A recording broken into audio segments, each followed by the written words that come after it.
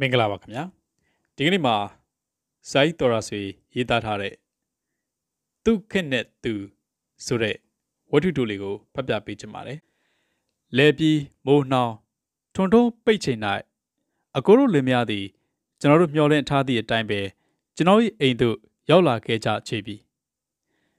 သူတို့မျက်နှာတွေမှာကျွန်တော်အပေါ်မကျေနပ်သောပုံသဏ္ဍာန်နှင့်သို့တော်ကျွန်တော်မှာဒီလိုပဲဖြစ်ရမည်ဟု တွေးထင်ထားသည့်အတိုင်းမို့အိမ်တွင်မပြတ်ဖဲပြုံးရွှင်စွာဖြင့်အကိုတို့ဘယ်တော့မှစသည့်ကြတာလဲအကိုကဒေါသတန်ဖြင့်မင်းတို့လုပ်ပုံတွေကတဲပြီးကြတော့အခုမိုးနှောင်းမျိုးရောက်တော့မှပဲမောင်မြအိမ်ကဒီသတင်းစာဖြတ်ထားတာတွေ့လို့သိရတော့တာပေါ့ကွာသူ့ပေါ်အင်ကြီးအိတ်ထင်း၌ပျောက်ရှာမှာစိုးရင်ကြီးစွာနှင့်ခောက်သွင်းထားသောသတင်းစာရွက်ကိုထုတ်ပြသည် တခြားမဟုတ်ပါရန်ကုန်မြို့တွင် ကျွန်တော်လက်အောက်၌အမှုထမ်းနေသော သူ့သားသည် သူ့ဘဝတူစိတ်မတယောက်နှင့်ကျွန်တော်အိမ်ရှိမောက်တွင်နှုတ်သဘောတူလက်မှတ်ရေးထိုးလက်ထက်သောကြော်ညာစာဖြစ်သည် အကိုသည် ကျွန်တော်မျက်နှာစစ်စစ်ကြည့်လျက်ဘဲနဲ့လဲကွာမင်းလို့ပုံကငါသားကိုမင်းယုံလို့ပုံအပ်ထားတာဒီကိစ္စမှာ မင်းသဘောတစ်ခုတည်းနဲ့လှုပ်လိုက်ကြောလားဒီစကားတော့ကျွန်တော်ခါခါတီးတီးညင်းရကအမလေးအကိုဒီကိစ္စမှာကျွန်တော်သဘောလုံးဝမပါပါဘူးခမညာအကိုဒီမြည်တို့မြမယုံဟန်တတန်ဖြင့်အမေဘဲ့နေငါသားကကျောင်းသားတွေကမင်းအိမ်မှာနေတာအလုပ်လို့တော့မင်းယုံမှာလုပ်တယ်အခုလက်ထက်တော့မင်းယုံမှာ မင်းကတရားသူကြီးကွာအဲ့ဒါကြောင့်ကျွန်တော်သဘောဘာမှမပါဘူးလို့ပြောတာပေါ့ကိုကြီးကကျွန်တော်ကတရားသူကြီးတယောက်ဖြစ်နေတော့အရွယ်ရောက်တဲ့မိန်းကလေးတယောက်နဲ့ယောက်ျားလေးတယောက်တက်တည်တက်ကာရနဲ့ကျွန်တော်ရုပ်မှာလက်ထပ်ခြင်းနဲ့ဆိုတော့ကျွန်တော်ကဘာမှတားပိုင်ခွင့်မရှိဘူးပေါ့ခင်ဗျာဝတရားရှိတဲ့အတိုင်းဆောင်ရွက်ပေးုံပေါ့ကဲဒါတော့ထားပါတော့ကွာဒီမှာထွန်းလေ သူတို့ဒီလိုလက်မထက်ခင်မှာငါသားစိန်လိုင်ကမင်းကိုလူကြီးတယောက်အနေနဲ့ဦးလေးတယောက်အနေနဲ့တော့မတိုင်မင်ဘူးလားမတိုင်မင်ပါဘူးကိုပြောရုံပဲပြောတယ်ကျွန်တော်ဒီကောင်မလေးနဲ့ခီးလွန်နေပြီလက်မထန်မဖြစ်တော့ဘူးတဲ့သင်မိမယူတာကလည်းဖိုးထွားနွားဝယ်တယ်လို့ကြားနေတာပဲသူတို့ရွာကကိုဖိုးထွားသည်နွားကို မဆုမဆန်းအယမ်းဝယ်တတ်သည်ဤတွင်ရောက်မှ စကားတစ်ခေါက်မျှမပြောသေးပဲမျက်လုံးကြောင်တောင်နှင့်ကြည့်နေသော အကုတ်မိမမအေးရင်ကဖိုးထွားနွားဝယ်တာကကိုယ့်လက်ထက်ရောက်မှမကြိုက်ရင် နောက်အပတ်နပွဲချပြစ်နိုင်သေးတယ်တော့ရဲ့ကျွန်တော်မှာစိတ်ထဲကပြုံးနေလိုက်မိသည် အကိုကဆက်လက်၍မင်းစိန်လိုင်ကိုမင်းမိဘတွေစီကိုတိုင်ပင်အောင်ကောမပြောဘူးလား ပြောသားပဲအကိုဒါပေမဲ့သူက အခုနယ်မိုးရင်ကြီးအကြောင်းကြလို့အဖေတို့မိတို့လိုက်လာရင်အလုတ်အကင်ပြစ်ကြရုံရှိမှာပေါ့ဒီမှာဘာမှအကြောင်းထုမှလည်းမဟုတ်တော့ပဲတရင်ကျွတ်မှာပဲရုံးကခွင့်ယူပြီးသွားကြတော့မယ်ပြောတယ်နေပါဦးအခုသူတို့လက်ထက်ကြတာဘယ်နှလရှိသွားပြီလဲဒီထက်မှာနေဆွဲကအင်္ဂလိပ်လရက်နဲ့ရေးထားတော့ငါလည်းမသိဘူးကွကျွန်တော်က တရင်စာလက်ထက်ကြော်ညာလှမ်းကြည့်လိုက်ပြီး၃လနဲ့နှစ်ရက်ပဲရှိသေးတဲ့အကိုသူတို့ဘယ်မှာနေကြသလဲကောင်းမလေးမိဘအိမ်မှာလားရန်ကုန်မှာကအခုတည်းဘယ်မိဘကမှတမက်ကိုအိမ်မှာလက်မခံထားနိုင်ကြဘူးဗျသူတို့ဟာသူတို့လက်ထပ်ပြီးအခန်းလေးတစ်ခန်းငှားနေကြတာပဲသူတို့အခန်းဝင်ပစ္စည်းတွေဘာတွေရောပြည့်ပြည့်စုံစုံလားကြမ်းကြမ်းဖန်ဖန်အကိုရဲ့အဲ့ရတခုကျွန်တော်တလုံးဖြစ်ဖို့မှအနိုင်နိုင် အမလီသူတို့ခက်အိမ်တော်ပြုတ်လေကြတာလေတဲလွယ်လိုက်ကြတာပါကလားဟုတ်ကဲ့အကိုတို့ခက်အကိုတို့အဖြစ်နဲ့ကလွန်စွာကွာခြားလာပါသည်ကျွန်တော်ဒီအကိုတို့ခက်ရှေးဟောင်းဖြစ်တွေပြန်၍စဉ်းစားမိသည်အကိုနဲ့ကျွန်တော်ဒီမအေးညီမမို့ညီကိုတဝန်းခွဲတော်ကြပါ၏သို့တော့ကျွန်တော်တို့မိဘများသည်တရွာစီဖြစ်သည်ကျွန်တော်တို့ရွာသည် မြို့ပိုင်ရုံးဆိုင်ရာမြို့ကလေးမှတောင်ဘက်သို့သုံးမိုင်ဝေး၍အကိုတို့ရွာသည် အနောက်ဘက်ကွင်းခေါင်ခေါင်ကြီးတဲ့တွင်6မိုင်ကျော်ဝေး၏ကျွန်တော်တို့ရွာသည်မြို့နှင့်တာလန်းဆက်၍မြင်းလဲလန်းရှိ၏အကိုတို့ရွာမှာမြို့နှင့်နှွေသားနွားလဲလန်းပေါက်ပြီးမိုးရင်းနှင့်လယ်များမရိပ်သိမ့်မိအတွင်ကတဲ့ယိုခြေချင်းလန်းသာရှိသည် အကိုတို့ရွာမှဘုံတော်ကြီးအကြောင်းသာရှိသည် ကျွန်တော်တို့ရွာမှာထိုခက်ခေါ်လောကရက်ကျောင်းရှိ၍မြန်မာစာခုနှစ်တန်းထိသင်နိုင်သည်ထို့ကြောင့်အကိုသည် ကျွန်တော်တို့အိမ်မှာလာနေ၍ကြောင်းတက်သည်သို့တော့အကိုသည်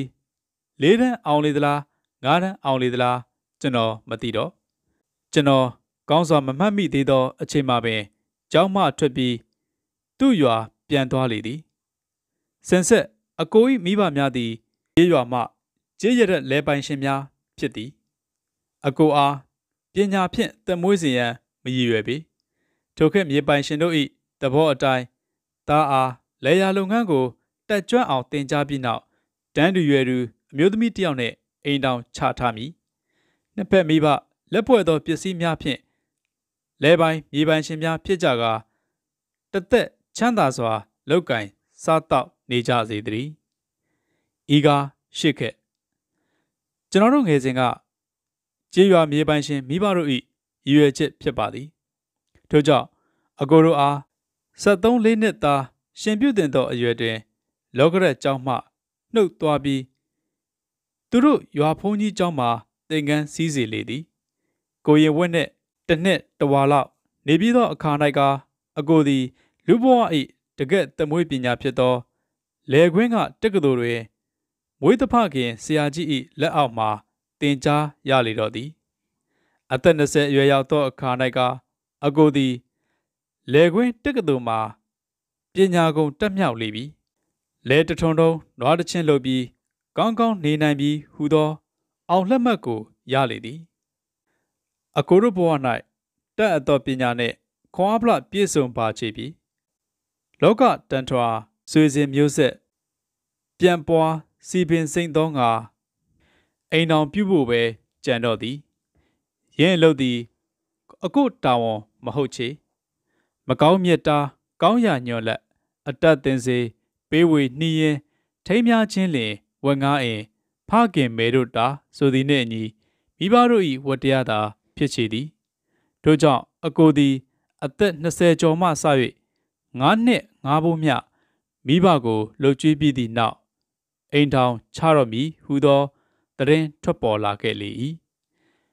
အရရက်ရွာရွာရှိဆွေမျိုးသားချင်းတို့ထံလဲတင့်လျော်သောသတို့သမီးကို ရှာကြပါဟုသော အကြောင်းစကားများရောက်လာသည်ကိုကိုကုန်းရွာက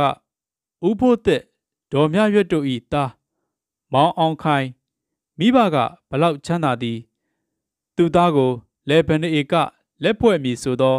ကြေညာချက်လဲ ဒါမျိုးပဲဝါသနာပါသော အောင်သွေကျော်တို့မှတဆင့်ပြန့်နှံ့သွားသည်ထိုအခါအချိန်တန်အရွယ်ရောက်ပြီဖြစ်သောသမီးရှင်များဘက်ကလည်းဒီလူငယ်ရုပ်ရည်စိတ်နေသဘောထားအကျင့်စာရိတ္တမိဘမျိုးရိုးစသည်တို့ကို ထောက်လန်းစုံစမ်းကြကုန်၏အကိုဘက်မှရုပ်ရည်ရီမွန်တန့်ပြန့်သည် အလောင်းကစားအတောင့်အစားမရှိ အကျင့်စာရိတ္တကောင်းသည် ဆွေမျိုးအတိုင်းဝန်တောင့်သည်ဟုသောဂုံသတင်းထွက်ခဲ့လေသည်တို့တိုင်အကိုသည်တော်တော်နှင့်ဖူးစာရှင်အစင်မသိသေးချေရွေးချယ်ရသည်ကပထမမိဘအင်အားဒုတိယသားသမီး၏ရုပ်ရည်ယူပကာတတိယဆွေမျိုးအတိုင်ဝန်းတောင့်မတောင့်ဖြောင့်မဖြောင့်ဒါကိုဆွေနဲ့မျိုးနဲ့ချီ၍တစ်ဖက်နဲ့တစ်ဖက်စုံစမ်းကြသည်ဤသုံးချက်ဘင်းညီလောက်မှတစ်ဖက်နဲ့တစ်ဖက်ချင်းကပ်စကား ကန်လန်းကြည့်ကြသည်တို့ကန်လန်းတိုင်းလဲမဖြစ်မြောက်တတ်ကြသည်တစ်ဖက်နဲ့တစ်ဖက်ဈေးခေါ်ဈေးကန်ကြသည်လဲရှိကြသေးသည်နောက်ဆုံး၌ဟိုဘက်ဒီဘက်အိမ်ပါကလေးနဲ့ပင်ကွဲလွဲသွားသည်များကလည်းရှိတတ်သည်များအားဖြင့်သားရှင်သမီးရှင်တို့သည် ကိုချွေးမှကိုသမက်ကို အိမ်ပေါ်ခေါ်ကျင်ကြသည်သာ ဖြစ်ကုန်၏စင်ဆက်သတို့သားနှင့်သတို့သမီးသာ သက်ဆုံးတိုင်ပေါင်းချရမည်ဖြစ်တော်လဲရွေးချယ်သူများကမိဘဆွေမျိုးများသာဖြစ်ကုန်သည် ပထမသူတို့သဘောကျပါမှသတို့သားနှင့်သတို့သမီးတို့ဒုံနဲ့တူတွေ့ခွင့်ကြည်ခွင့်ရကြသည်သူတို့ရွေးချယ်ကြသည်များလဲရုပ်ရည်ယူပကအရသာမကပဲစင်မြင်းကျွဲနွားဘွေစိုးဘွေကောင်းရွေးပြီးသို့လူများလဲထို့သို့ရွေးရန်အချက်လက်များရှိကြကုန်သေး၏ သွားကျဲရေယိုသွားလက်ကျိုးညရည်ကမှဲ့တဲ့စသည်များယခုခေတ်ကျွန်တော်တို့နားမလည်နိုင်ကြပါကိုကျွန်တော်တို့ကြည့်ကြသည်ကမိန်းကလေးတယောက်ကိုကိုလုံးကိုတဲ့နဲ့မျက်နှာလောက်သာကြည့်တတ်ကြသည် တောင်းတယ်ဖြောင်းတယ်ဧည့်တယ်ဆိုကြိုက်ပြီရှစ်ကလူကြီးများကမိမတပစုံကြီးသည်ကို မချီးမွမ်းကြကုန်မိမဖင်းလေးတုံးဆွကြီးအိကလေးသာများများမွေးတတ်တယ် ပြင်းတက်ဖြင်းတတ်တယ်ဟုမှတ်ချက်ချ၏တေးပြီးကော့ကော့ပြန်ပြန်နေပြန်လေလဲကောင်မကော့ကလန်ဆက်ဟိပြန်တက်နန်းတက်တယ်ဟုဆိုကြပြန်၏ယင်းတို့အပြည့်နာစာများအပြင်လဲအင်းဝရာစာဓမ္မာတောကအောင်ပကလာဆွေသားတော်ရင်မိဖစ်ချင်းဟူသော လင်္ကာများဖြင့်သူတို့သားသူတို့သမီးတို့နေနံများကို ရွေးကြပြန်ကုန်သေး၏ အချို့မှာအာလုံးသင့်လျော်နေတော်လဲဤနေနံမတဲမှုလေးကြပင် မထိန်မြရသည်များလည်းရှိ၏အိမ်တော်ဘက်ဖျားတီစေးမေရီစုတ်ထိုဟူသည့်ဆိုရိုးလဲရှိနေပြီတကယ်တော့ရင်းတို့လင်ရှေ့ထုံးရှေ့နီးရွေးထုံးရွေးနီးအတိုင်းဆွေမျိုးတတိုက်အောင်သွယ်တော်ကြီးများအကူအညီဖြင့်အကုတ်တွေကျင်ပစ်ရွေးချယ်ရှာဖွေလိုက်ကြရာသုံးနှစ်သုံးမိုးကျော်သည်၌ ရွာချင်းနေဝက်ခီးကွာသောသက်စိတ်ကုန်းရွာ၌သတို့သမီးယခုအကိုစနီးမအေးရင်ကို တွေးကြပါလေ၏တို့ကြောင့်နဘူးစာရွာလေသည်ဆိုတဲ့ဒိုစင်ကကျွန်တော်အသက်12နှစ်73နှစ်ခန့်မြရှိနေပြီဖြစ်၍ကောင်းစွာမှတ်မိနေပါပြီမအေးရင်သည် ပြောပလောက်အောင်ချောမောလှပါသည်ကိုတို့ထက်ရုပ်သာသည်ဟု ဆိုပါသည်ပစ္စည်းမှာအကိုတို့ဘက်ကတာ၍ ထေကြသည်အကိုကြီးအောင်ခိုင်နဲ့မအေးရင်တို့နှစ်ဖက်မိဘဆိဆက်ကြောင်းလန်းသည်၌သူတို့မင်္ဂလာမဆောင်မီအကိုကြီးကသူ့ဇနီးလောင်းအိမ်သွားလေတိုင်းကျွန်တော်ပါသွားမြဲဖြစ်သည်။အော်သူတို့ခက်သူတို့အဖြစ်နဲ့နှစ်ဖက်မိဘဆေးဆက်ပြီးအိမ်မှာလွတ်လပ်စွာ တွေ့ခွင့်ရှိကြတော့လဲ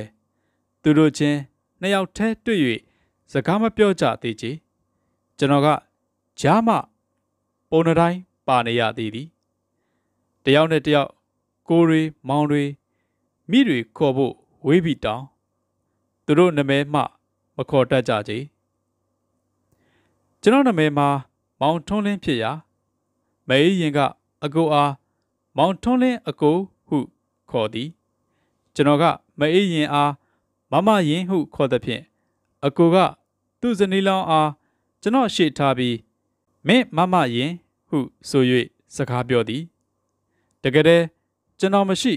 သူဘယ်လိုပြောမည်မသိထိုစဉ်အခါမှာကျွန်တော်ကကာလဘောဝတ္ထုဖတ်ခြင်းရုပ်ရှင်ကြည့်ခြင်းများရှိနေသည်ဖြစ်၍အကိုအားအကိုကကျွန်တော်ကိုဘာလို့ကြားထဲကထားနေရတာလဲဗျ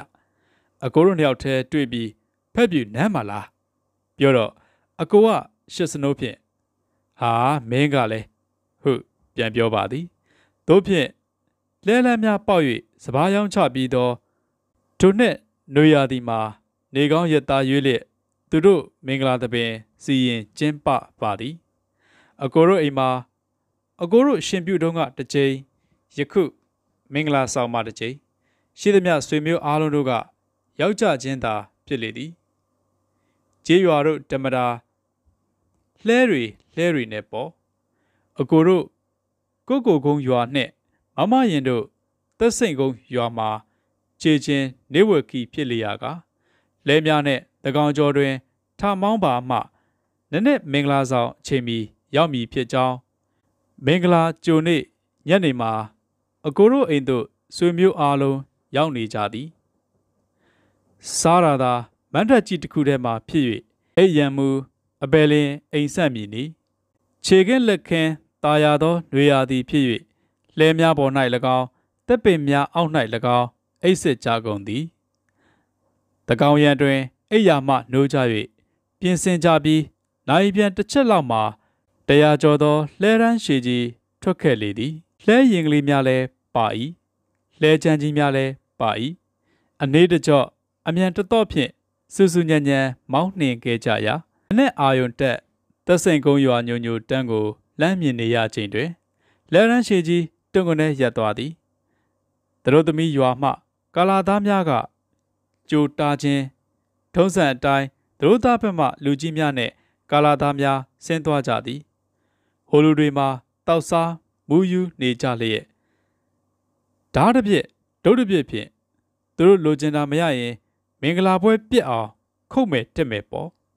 ဒီဘက်က စစ်ဆက်သောအခါ၌ငွေ900ပေးရမည်ဟုဆို၏ထိုစဉ်မှာစပားတရမှာတရအစိတ်150ရှိလေရာငွေ900မှာနည်းနည်းနော်နော်မဟုတ်ပါချေများလွန်ပါသည်ဆိုသောအခါ၌နှစ်ဖက်စလုံးမှာချမ်းသာသောဒိတ်ဒိတ်ကျဲမင်္ဂလာဆောင်တွင်အ ਨੇ ဆုံးတောင်းတာပါပဲဆိုသည်တို့ဖြင့်နောက်ဆုံးမှာ350နဲ့ဈေးတဲ့ကြသည် ဤအခါ၌သူတို့သားကိုသူတို့လှဲပေါ်တင်၍သူတို့ကိုယ်တိုင်မင်္ဂလာဆောင်အိမ်ရောက်အောင်လိုက်ပို့ကြသည်သူတို့သားသည်သူတို့သမီးအိမ်ပါအဖြစ်နဲ့ဤရွာမှာနေရမည်ဖြစ်၍နောင်ရင်နောင်ရာအားလုံးကိုလည်းတာဝန်ယူမည်ဟု အကြီးဆုံးကာလာသားခေါင်းဆောင်ကြီးက အာမခံ၏ယင်းလဲတရွာတွင် လူသစ်တယောက်အတွက်ထိုခက်က လိုအပ်ချက်တစ်ခုဖြစ်ပေသည်ကဲမိုးရင်းအားကြီးချိန်သူတို့သမီးရွာထဲသို့သူတို့သားဘက်ကလည်းများရောက်ကြပြီဆိုပဲအရေးကြီးသောလက်ရင်လူများကသူတို့သမီးအိမ်မော်တက်ကြကြံလူများကတင့်ရော်ရာတွင်လှဲများကို ဖြုတ်ကြ၍ကိုလဲပေါ်မှာပင် မင်္ဂလာပွဲထိုင်ရန်ဝက်စားပြင်ဆင်ကြသည် မင်္ဂလာဆောင်မှာနနက်ခင်းဧကန်၍ကျွေးမာကဘားတယ်လဲ ပေါင်မုတ်အုံးတို့ဇန်းနဲ့အတောက်စားဝါသနာပါသူများက နောက်ဖေးကောက်ရိုးပုံကိုကြွကြဒီရွာကကာလာသားများကထမ်းရည်အရက်ကြက်ကြော်အမဲကြော်တို့နဲ့ဧကန်လျက်ပါပဲကဲမင်္ဂလာပွဲကြီးစပြီပထမဆုံးသရိုးသားဘက်ကမြည်တိလေဘယ်နေဧကကိုဥပိုင်နံပါတ်နဲ့တကွကျင်ညာလိုက်ပါ၏သရိုးသား၏နာယီလက်စော့ ရွှေလက်ပတ်ကျိုးရွှေကျဲသည်ခန်းဝင်ပစ္စည်းတန်ဖိုးလဲပါရ၏ဒုတိယသရိုးသမီးဘက်ကထဲ့သည့်ပစ္စည်းရွှေချေချင်းရွှေကျဲသည်ရွှေလက်ကောက်ရွှေဆဲကျိုးရွှေစတိုးဘယ်နှရန်အချိန်ဘလောက်သားခက်တံပိုးဘလောက်ကအစထုတ်ပေါ်၍နှစ်ဖက်စင်းတင်ပြရသည်ထို့နောက်နှစ်ဖက်သားဆွေမျိုးများကကိုယ့်ဘက်ကိုလက်ဖွဲ့ကြခြင်းများ စခန်းကြတဲ့တဖန်းလရွာဦးမြမောင်မက်မဲဟန်သူတို့သားဘက်ကလက်ဖွဲ့ငွေ9000တဲ့ခင်ဗျာမင်္ဂလာစကား9000ဆိုခြင်းသည်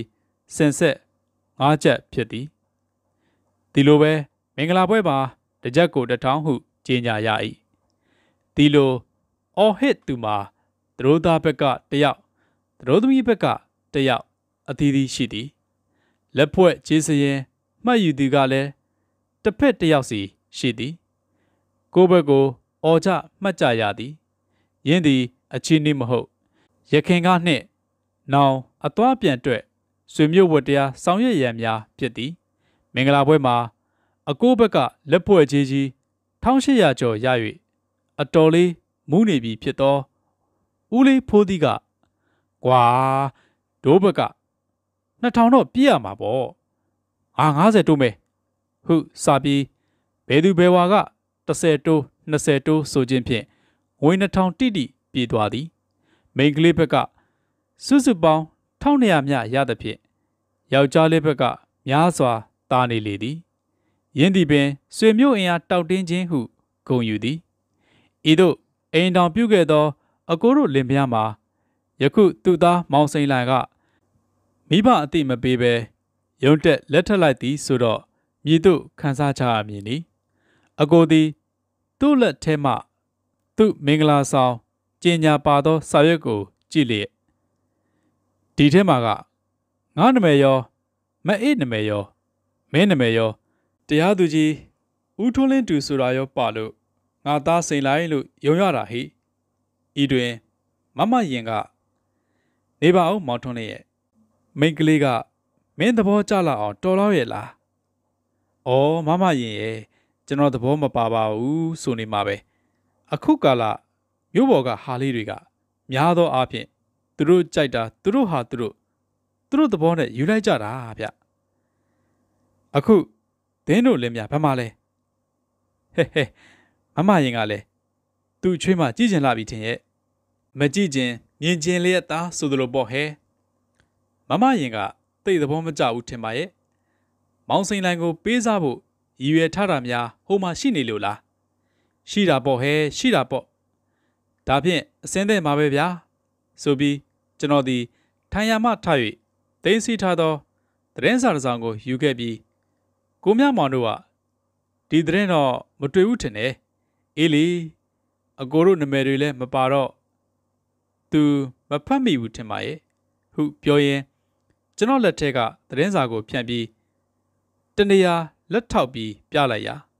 သူတို့လက်မယားနှစ်ယောက်သည်မျက်လုံးများပြူးကြကာဟဲကနေဖြစ်သွားကြလေသည်တည်င်းမှာကျွန်တော်မောင်စိန်လိုက်နဲ့မေကြီးတက်တို့သည်ယနေ့မှစ၍လင်မယားအဖြစ်မှပြက်ဆဲပါကြောင်းအကိုကဟင်ဘဲနဲ့ဟာရီပါလိဟဲဟုမှတ်ချက်ချ၍အမရင်မျက်နာတွင်မူအံ့ဩရာမှ ပြုံးယောင်တန်းသွားရာကျွန်တော်ကပြောလိုက်သည်မောင်စိန်လိုက်မိမ့်မယူတာကလည်းဖိုးထွားနွားဝယ်တယ်လို့ပါပဲမမရင်ရဲ့